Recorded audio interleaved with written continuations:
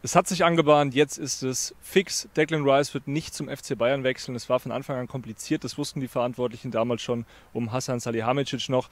Man hat sich jetzt entschieden, das wurde am Dienstag bei dem Meeting entschieden, nicht ein Angebot abzugeben, weil Declan Rice eben einen Verbleib in der Premier League bevorzugt, auch ein Verbleib in seiner Heimatstadt London. Er wird höchstwahrscheinlich sich dem FC Arsenal anschließen. Unklar bei den Bayern jetzt, gibt es überhaupt eine Alternative? Also die Verantwortlichen, die sondieren den Markt, suchen danach möglichen ja, anderen Optionen. Sofian Amrabat vom AC Florenz, der ist aktuell noch kein Thema, wurde den Bayern aber schon angeboten. Also es gibt da ein paar Gedankenspiele, aber es ist eben auch schwierig, diese Suche nach einem wirklichen Top-Sechser, den Thomas Tuchel ja unbedingt haben möchte.